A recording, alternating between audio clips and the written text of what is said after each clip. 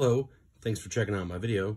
Today we'll be working on our fine motor skills with our crayons or writing utensil, the clothespins, and the stickers as we do a little color matching activity.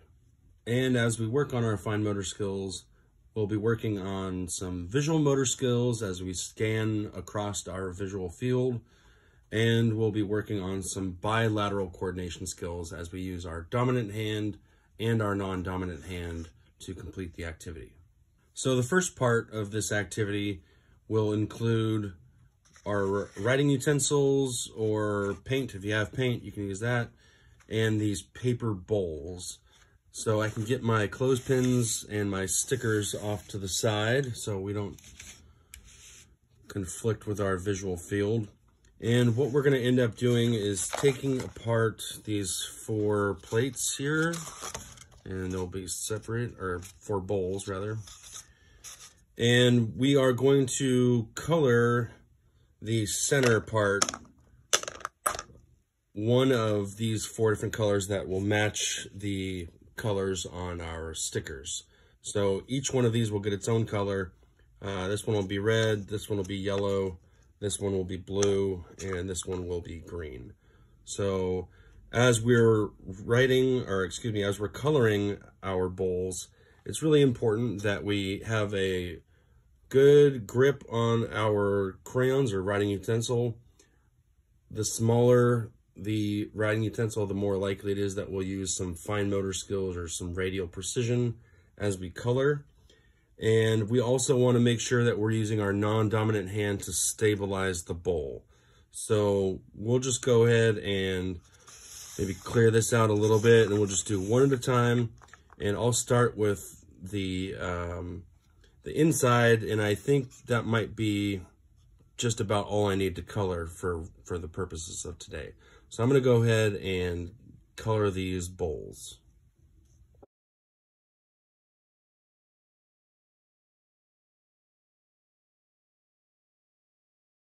Now that I'm done coloring the inside of my paper bowls, I can put them off to the side because I won't need them again for just a little bit. And I will get my clothespins, and I should have 24 of these. So I have four bowls, and that would mean I need six of each color. So I'm going to either use the paint if I had paint, or I will continue using my crayons and I'm going to color six of these the same color so that we can go ahead and match them to the bowl later. So the first six are going to be red, and then I'll do blue, green, and yellow. And as we're doing this, we're going to continue to use our fine motor skills to manipulate the clothespin and we're also going to use our fine motor skills as we use our writing utensil. And most importantly, I think for this portion is our bilateral coordination skills that we'll need to stabilize our clothespin so that we can color it. So I'm going to go ahead and color six clothespins, each one of these colors here so that we can go ahead and match them.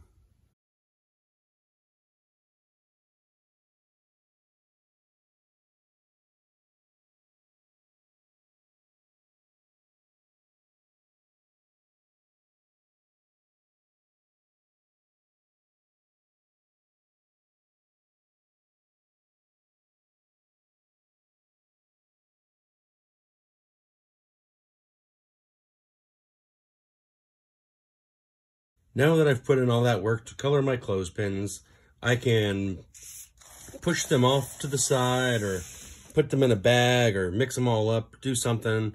We're going to come back to that a little bit later. Just to clean up my area real quick. And now what we're going to do is we're going to get our bowls back in the picture here. And we're going to use our stickers and we'll be getting a lot of good fine motor practice here, picking these stickers off the sheet. We're also going to be using our non-dominant hand to hold the paper and maybe even manipulate it a little bit to get the sticker off. And as we do that, we will be working on some basic color matching. We're going to match the color of the sticker to the bowl.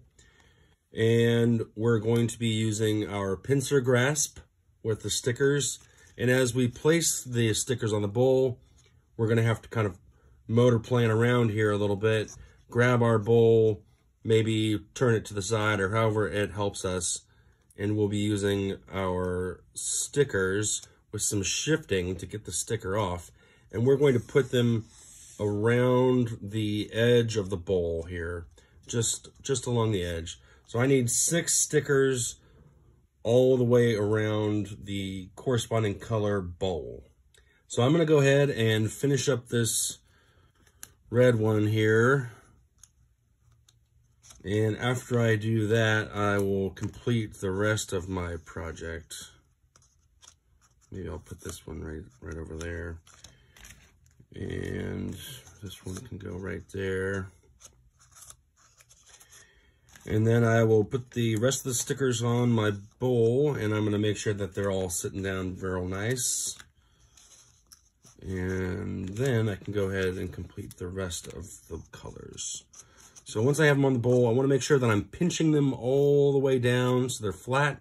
This is a good chance for us to work on a lateral pinch.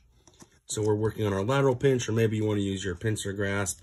That's okay too. I think the lateral pinch works a little better for me with this activity. Now that I have them all placed along the edge of my bowl, I'm going to go ahead and finish the rest of these colors.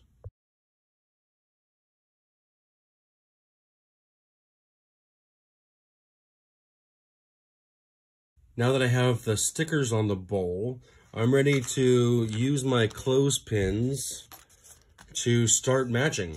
And how we arrange our bowls and our clothespins will ultimately kind of dictate what visual motor skills we will be working on or visual perception skills we'll be working on.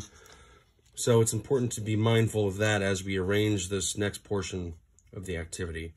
So for me, I think what I'd like to do is to work on some scanning across the horizontal visual field. So I'm just going to leave them in a line just like that all the way across my visual field so that I have to scan from the left side all the way to the right side each time I pull a clothespin. So we're going to have a pile of clothespins either maybe up here vertically, so we have to continue to work on our vertical pursuits as well, or you can have them in a paper bag, or you can give it to your student one at a time.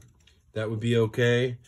But we're going to make sure that we we work on our uh, visual motor skills during this component because we've we've done so much work with our fine motor skills and we're going to continue to do work with our fine motor skills um, and also our bilateral coordination. But this is just another opportunity for us to work on a different skill set that that will help our student. So just be mindful of that and I think what I'm going to do is I'm going to leave my pile of clothespins at the top portion of my visual field as I just talked about. And they don't have to be in any particular order. And then I'm going to just take one clothespin at a time and I'm going to match it to the color bowl. And then I'm going to place it on the sticker. So when we get all these clothespins on here, it might get a little hectic. So maybe I'll stagger them just a little bit so that I still get to work on my horizontal pursuits, but I have maybe a little bit more room for the clothespins to kind of hang out. So I'm going to go ahead and finish that portion now. It's really important that we work on not only our fine motor skills with a pincer grasp or maybe a a lateral pinch, that would be okay.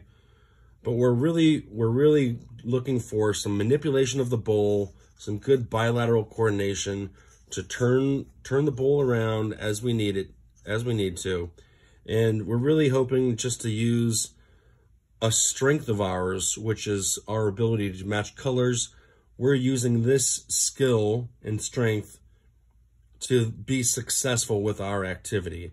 So we're really, really just kind of taking a, an easy skill here that, that we probably know how to do, and we're making a situation where we're using that strength to develop other skills that we're looking to work on. I'm going to go ahead and finish up this portion now.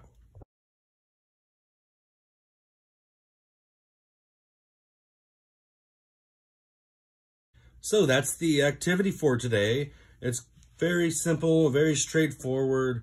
We're just really working on a lot of kind of fundamental fine motor skills that are used often as we write or do any other kind of classroom activity.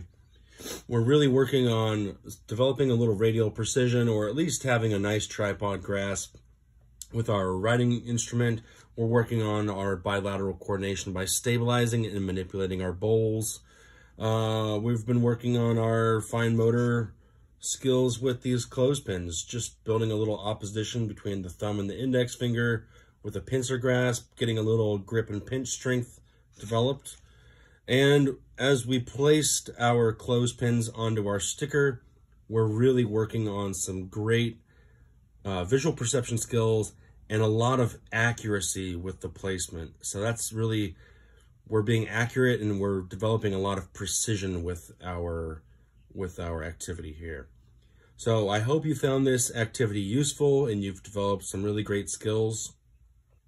Please let me know if you have any questions on how to implement these strategies with your student.